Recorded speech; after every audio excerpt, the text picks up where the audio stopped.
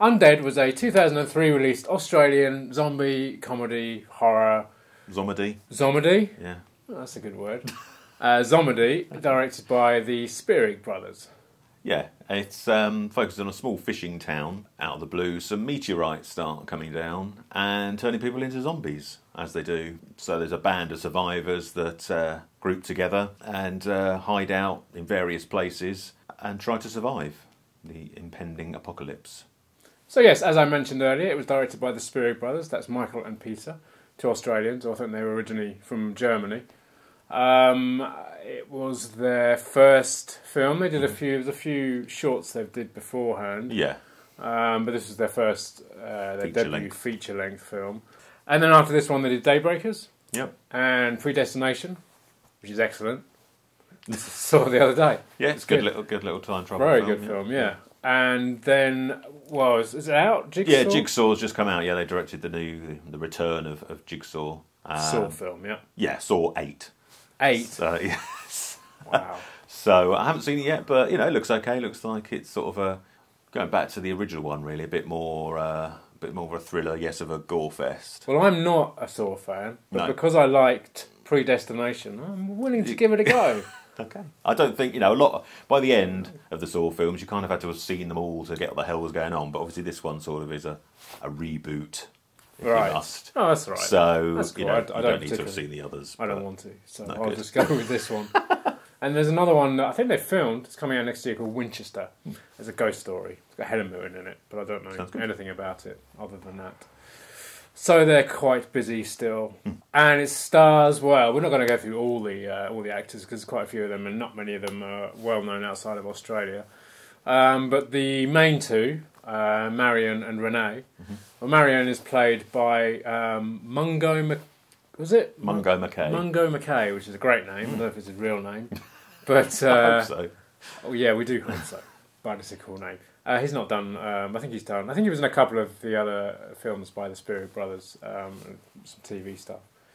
And then Renee, the young uh, lady in it. Um, well, in the film, she's kind of depicted the beauty queen. She's a Yeah. catch of the day, which I think is a great title for a fishing community beauty pageant.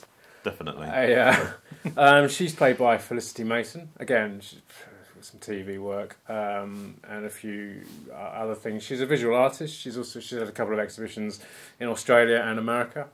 Um, and she did a short film uh, a few years ago called Oralick Records. Oralick. Oral Lick. Yeah, it's a Right. kind of a mockumentary about um, you know wannabe musicians getting into the music and a bit like kind of pop idol type thing. Right, right. Yeah. Um, and I think she wrote it, and she's also she plays all the characters in it. It's a bit Monty Python esque, but I'll chuck the link down. It's on Vimeo, and it's worth it's worth checking out if you like a bit of Aussie humor Um, so yeah, that's that's kind of the main cast. Um, we won't go through anyone else. No. there's lots of you know. This- It's very Aussie. You know, there's a there's a very loud, obnoxious cop in there, and Yeah. there's there's a pregnant girl who also doesn't like Renee because she stole the, She stole the, the beauty, beauty, queen crown from her or whatever. Yeah, Um, but yeah, lots of you know. If you've seen any Australian films, horror films, then you you know you know the kind of characters to expect. You know, there's lots of laughs to be had from there. yeah, it's very funny, isn't it? It's good. overuse of swearing. Yeah, yeah, but apparently I was uh, I was reading apparently they didn't write any swearing, and all Didn't the they? actors ad libbed their swearing in, so they kept it, Excellent. which is which is great. Yes, it's not just the dialogue that, that's full of laughs. It's the some of the gory zombie deaths are quite comedic as well. Um, lots of visual gags. Um, if you don't mind a bit of gore, and you think No, people being that- ripped apart is funny. That great shovel shovel in the head bit's yeah, quite amusing. yeah. And there's like, some torso-less legs wandering around. yeah. I mean, it's obviously it's. I think it's definitely a nod to well, Australia. Well, sorry, New Zealand's own um, Peter Jackson Yeah. and, and Bad Taste Mm. and Brain Dead and those two early films, but also Evil Dead. I mean, is is that the horror comedy Mm. aspect? I mean, it's not it's not scary, but zombie No. films rarely are.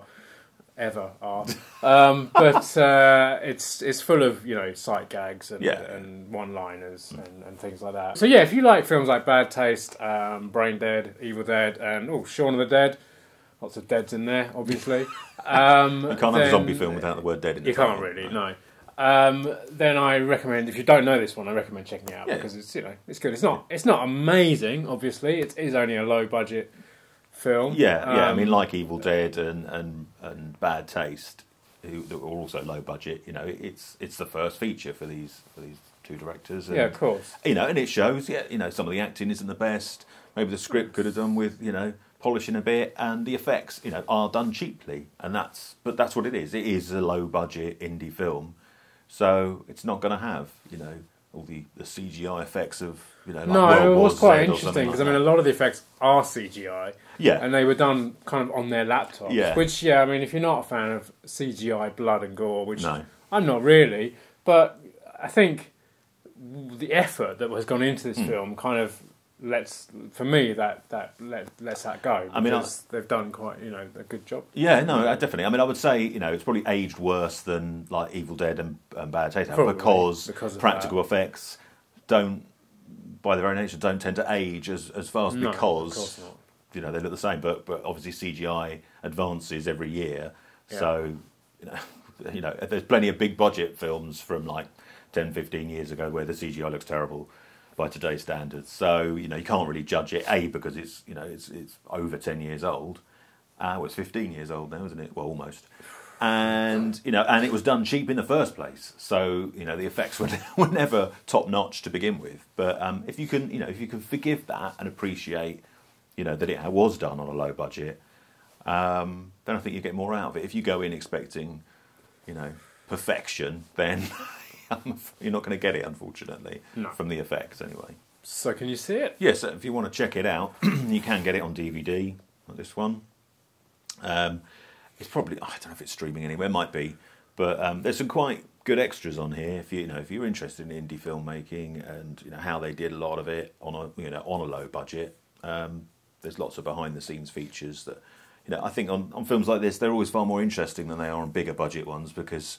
It's always the same, really, isn't it? There's lots of people in front of green screens and Yeah, the, the whole, actors um, talking about how wonderful their characters are. Whereas in this, you know, you see you see them, you know, exhausted from from working so hard on the film. Yeah, Um, mate. The whole special um, special features on, on big budget films now have become a bit kind of samey and Yeah, it's just there. Boring. You know, it's just to fill up some space on the disc, really, isn't it? To be much, honest, much nicer to get to the meat of what how they did things. Exactly, and there's- why you- they did things, there's a, a why you should never do it yourself. Oh, well, well, if you want to, there is a, a homemade dolly construction video. If you want to know how they made their dolly, Really? So, there is, yeah.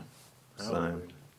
If you've got, um, you know, some steel and you know how to weld and things like that, then then that'll show you how to do it. Um, Excellent.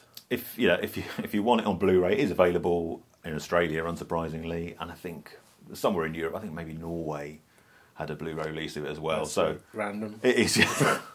but um, that that's the only Blu-rays I could find. Um, how, how good quality they are, I don't, I don't know. But um, but you know, it's not hard to find the DVD if you want to check it out.